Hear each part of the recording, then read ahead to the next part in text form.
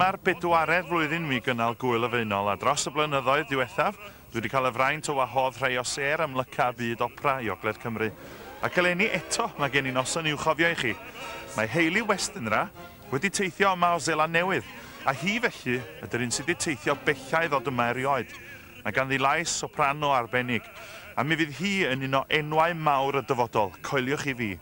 Felly cofiwch, pan ddigwydd hyn, mae fan yma ar lwyfan y feinol y clwsach chi hir gyntaf.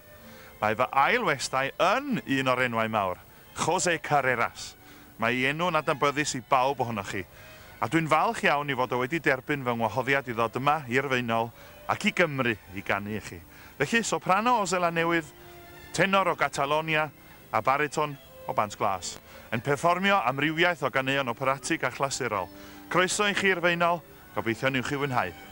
Love North Wales. Yeah, it's it's really it's actually in some ways it's quite similar to New Zealand, so I kind of feel quite at home. But um, I mean, I think it's just gorgeous. I love all the stone fences and all these castles, and it's so so magical, really. Yeah. Well, certainly at moments like this, it's quite remarkable. You know, when you see her up there with uh, two world famous singers, it's just mind boggling, really. Like so that's Bryn Terfel, Jose Carreras, and then little old me. It's gonna be that's something that's that's something I'll definitely remember. Yeah.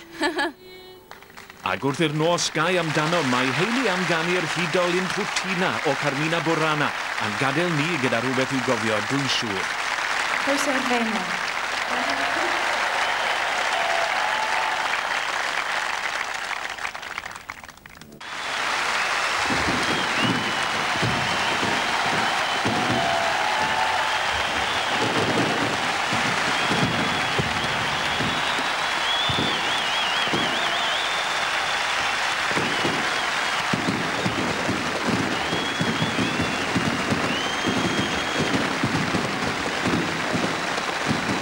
Wel am noson rym.